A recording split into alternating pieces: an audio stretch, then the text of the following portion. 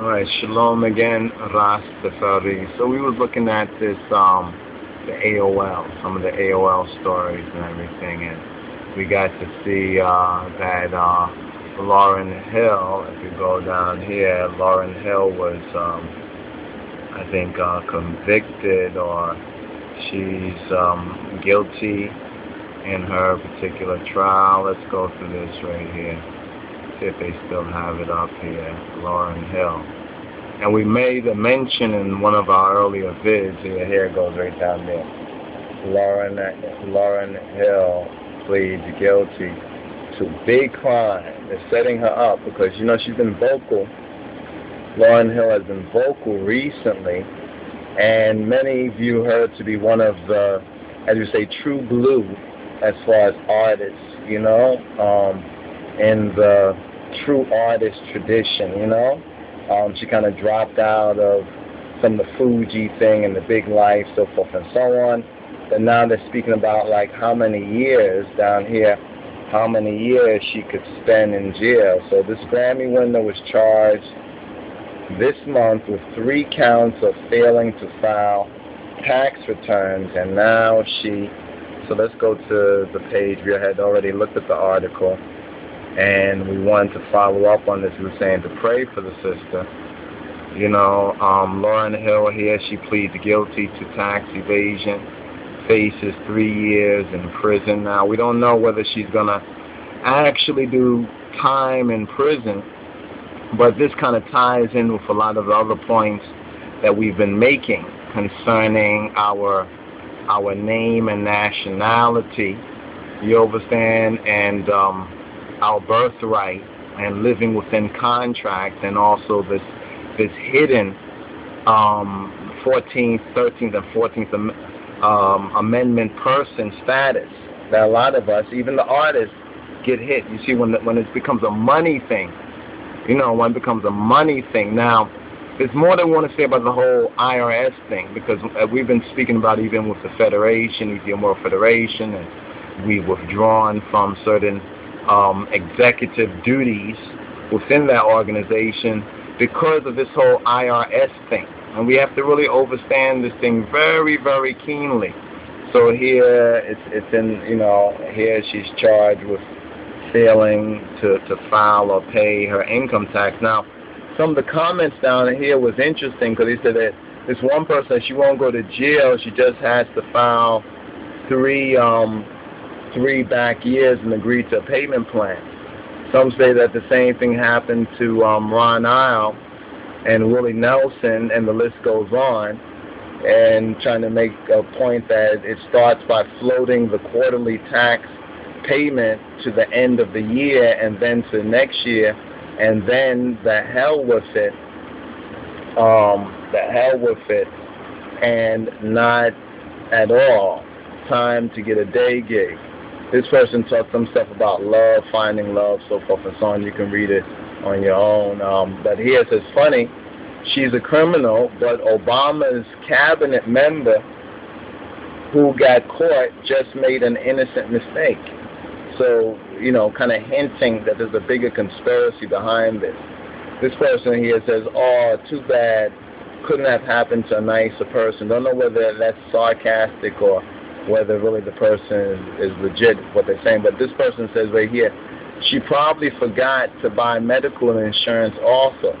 Very interesting, that particular pun there. Now, Kathy right here says, when you deal with the IRS and tax evasion, non-violent offender, and not as um, someone um, posted, the IRS doesn't play games my bet is that she will definitely do some time. We pray, hopefully not, but that seems to be what, what they're what they're aiming, what they're gunning for.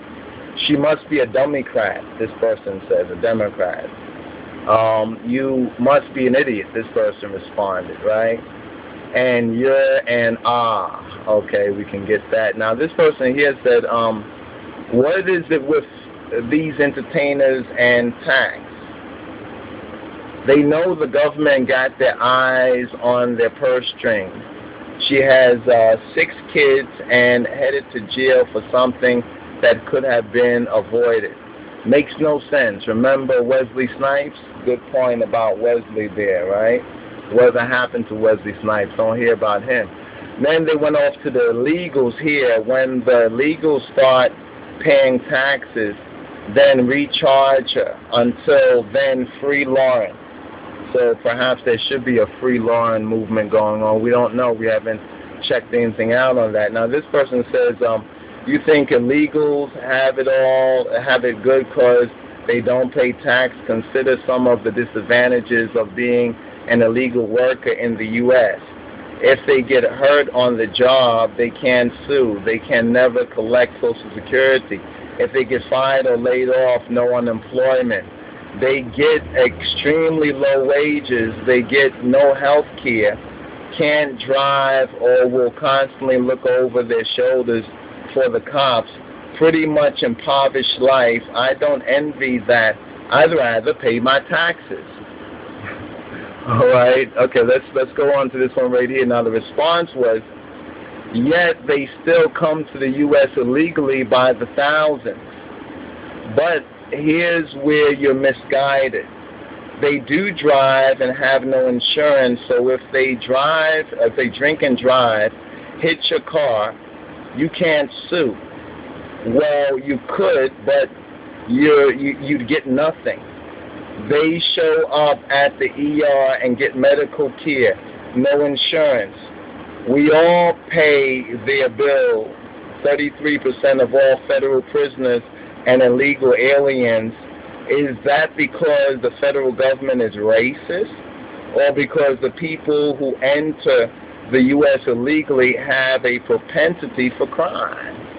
So it kind of ended off right there, and this is on um, the boom the boom box where this particular story about Lauryn Hill was posted. So we just want to update you because we said that, that they had charged her with that, and you might have caught it yourself. So right here, they say that she um, pleaded uh, guilty and they ramble on a little bit about like this is like 1.5 for not filing for three years. Um, she faces a maximum one-year sentence for each count. She's 37 years old, South Orange resident. Um, you know, she got to start with the Fugees. Uh, she had a relationship with one of the with one of the Marleys, um, with uh, Rohan Marley, and this is her story right here. This is what's going on. But uh, of course, those who know about the whole tax, you know, the Illuminati thing going on, and where it all started from, the New Deal, and how those symbols and emblems got posted on the dollar bill back with the New Deal and um, uh, I think Roosevelt or whatnot in the 30s and everything, and how the the gold standard was taken off of, and the gold and silver standard was taken off of the currency, so forth and so on. Now, what's really ironic about this whole tax evasion thing and, and IRS is that the IRS is not a federal, it's not a, it's, it's not a government entity. It's, it's a really a private corporation. So when you put that together on top of the fact that so-called black people who still are under 13th and 14th Civil Rights Amendment basically is property of the of the federal government in other words, and they're not in their true person. So when ones think about, well, I'm not going to pay taxes because the, the IRS is not a government entity, so forth and so on, you know, you really have to be careful about that particular matter. You really have to do your homework on that. We're not saying this was Lauryn Hill's situation, but we're saying to, you know, pray for her, for her situation, so forth and so on. And um, it's really, really interesting. It's kind of sad on a certain level, but it, it once again, it makes I and I point, the point that we're speaking about. That means we have to become informed, really, really informed. But it's, it's interesting because she was speaking up recently, you know, speaking up recently about the system. And there's a lot of ones and ones that speak out about the system. And when they're at this particular point of stardom, pseudo-stardom, and and make money and don't pay up and come back out and start talking, they usually find this one, the so-called taxes, the whole tax equation. And what's ironic is that in spite of all the information out there that you find even these so-called big celebrities, a lot of them who do speak out, who do know what's going on, and still they really don't um, CYA in a sense. You know what I mean? When we talk about the Moorish, some of the Moorish arguments, which are true legal arguments about, you know, the whole status, name and status, name and status, you know, with these. We know that this is not an African name, so forth and so on, not original name, and we can make that connection with the whole slave trade and the so-called three-fifth status that most black folks have. So now, when they don't pay their taxes, like for example, somebody mentioned about Willie Nelson and Ron Isley, well, you know, the way they treat black people in America and the way so-called um, other foreign national Europeans over here are treated, we know that there's a there's a double standard. It's, it's very obvious. And if we watch this case, we might see a little more of this double standard going on. But we're going to get into a little bit more of this, and we suggest, we recommend some of the vids on the whole um, taxes and IRS. You know, those vids are out there, but you have to recognize what you need to do to CYA. You know what? It's not enough to say I'm not going to pay taxes because, you know, the IRS is uh, is not a, a true government agency and there's a conspiracy and so forth and so on. Okay, you might know that because these laws are being updated constantly. So you really have to stay up on top of these particular things. But the first thing is to be in your right person, in your true natural person. And there is paperwork, there's legal work, there's there is um, clarifications that need to be made you know, public declarations that need to be made to let them know that I have not been made over as your property. And many of these artists, even though they may have that stature and celebrity and making a lot of money because they're talented, so forth and so on, and even speaking out about a lot of things going on in the world or black issues or social issues, so forth and so on, it's like many of them still get caught out there on these particular levels and at their particular status, it shouldn't have to be that particular way. Anyway, we're not saying this against Lauryn Hill, but we're pointing out her particular situation as a case in point. And you see the title right here that Lauryn Hill pleads guilty to tax evasion and faces at least three years in prison. Let's see which one of these particular um, ways suggested down here by some of the boombox um, comments that that happens. Will it just be a payment plan like the first person said, or will it be like the Wesley Snipes sort of situation? You know, and um, isn't it interesting because you remember when it says right here, funny, she's a criminal, but Obama's cabinet member who got caught just made an innocent mistake. But you also have to remember that when you're at this high level of government, you know, you know, you got to be a lawyer. You know, you got to know the law on a certain level. And most lawyers can't probably even qualify for politics because of, you know, of certain things in their training. You know what I mean? But when you look at um, Obama and others in his cabinet, they understand the law. Remember the whole thing about Obama's birth certificate? You know, people don't want to talk about that, but that's also a key issue too. When they say that Obama is is is not so-called a natural born so-called American and the Kenyan connection, it's because Obama's status is really higher than all these Negro statuses. See, the white man don't want to tell you this.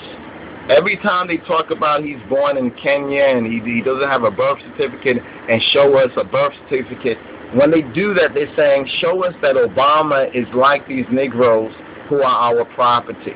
And what really pisses off a lot of these um, so-called foreign national, so-called Americans who know, who know the game and know what up, they know that Obama has a different status. You know, they say Barry, or Barry Soetoro, right? That's his other name.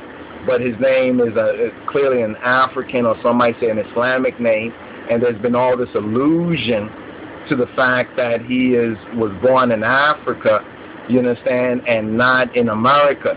You, you know, we've heard so many people argue about this Obama thing, and, and it's kind of funny. You know, it's, it's, it's really kind of funny that all these people argue about it and they, they kind of miss the point. The point is that he is not under 13th and 14th artificial person status like the majority of Americans, but moreover, like the majority of emancipated black people and people who come under so-called that black status or the black law. You see, they come under that black law. In other words, the, for, for black folks, it's 13th and 14th Amendment persons. They were bought from the rich white land-owning male gentry, and they were bought over by the federal government. And the first thing the federal government did was give you a birth certificate. And then the next thing that the federal government did, just like the slave master and sharecropping, is tax you. Yovas, and once they were able to do it to Negroes, they was able to do it to everyone. So there's a lot of foolish white folks that say, well, you got to pay taxes, so forth, so, so forth and so on, right? So, you know, but what they don't even understand, what most of these white folks don't even understand is where did this whole birth certificate come from? In America, it came from slavery, keeping track on the slaves, keeping track on the newly emancipated, newly bought over property, bought over as property people. You over. So even when these stars and celebrities make all this money and they they talk this, they talk that, they better make sure that their I's are dotted and their T's are crossed when they're functioning under that 13th and 14th artificial person status, especially when they're making money. Especially. So if they're out there speaking out about the government, about white supremacy, so forth and so on, and their celebrity, they better make sure that they're, and they're under 13th, 14th Amendment artificial person, Negro, Black, and Colored, Smith, Jones, and Johnson, Michael Jackson, the Jackson name, the Jefferson, George Jefferson. You know, when they come under these European names, you know, we, we, we know a whole lot about them. So let's stop faking the funk people, and let us and let us um um um live within our birthright. Let us let us let us preserve our birthright. You understand? our true name and our true nationality, and and and come to the human rights level. You understand? Article 18, especially, you know, the human rights level, and get off of this civil rights level where it's basically just another form of slavery. Let's pray for this sister right here you know, and pray that she gets wise and and and works out her salvation out of this out of this situation. May may may may may Abba Amlaku be with her. You know, may may Father be with her in this situation. Our black Lord and Savior Jesus Christ. You know. Anyway, more to come on this particular matter. Shalom, Ras Teferri.